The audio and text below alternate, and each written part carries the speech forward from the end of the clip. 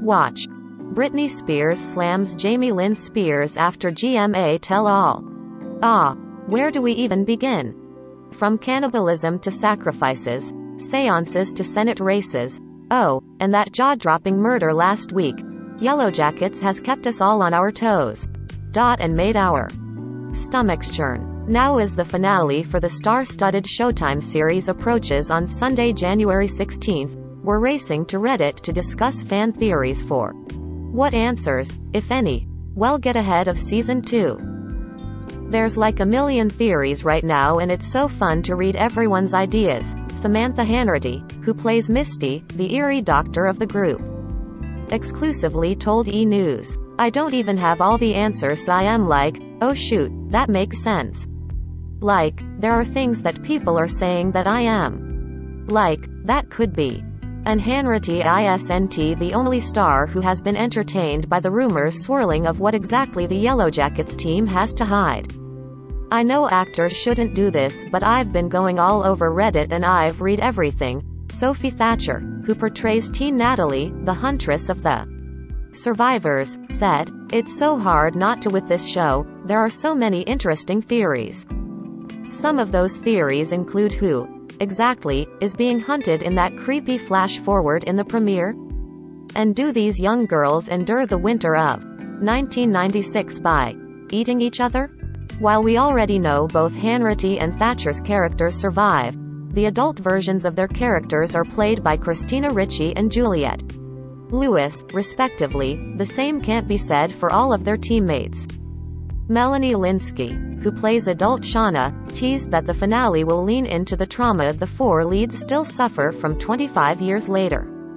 I think Shauna is a person who, in moments of stress, gets quite subdued, Lynskey explained.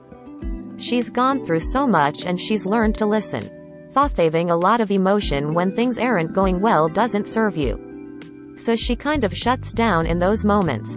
So will we see Shauna finally break down after she murdered her lover, Adam, Peter Gadiot? Finding out that Jeff was the blackmailer and that she had killed somebody for no reason, it's just too much to process in the moment, Lynskey continued. And also the fact that Jeff knows her story and loves her anyway is also a bit too much to process. She's been underestimating Jeff for years and I just think too much information is coming at her at once. She added, There is a moment in the finale where she's alone in the shower and she lets herself feel everything for the first time, and I really wanted to be careful that I keep getting emotional in all those scenes and I am like, no, hold it in, hold it in. She's a person who would try to just get through all the business. How am I going to do this? Who's going to help me? But Lynskey can confirm that the finale will leave audiences with one heck of a cliffhanger. I think that there is one huge surprise. I think there's one huge cliffhanger, which is very exciting, something that is teased for the modern day storyline. Lynskey hinted. And I think a lot of things are tied up. There is one thing in it that makes me so sad. But I think it's going to be satisfying. Hanratty agreed, saying, We get some answers and then there's these other parts of the show where it opens up this whole other mess, so when one story closes, we get stumped with something totally different. It opens up a whole other can of worms. She warned. I will say bring a box of tissues for the finale and get ready to gasp quite a few times. I know I did when I read the script.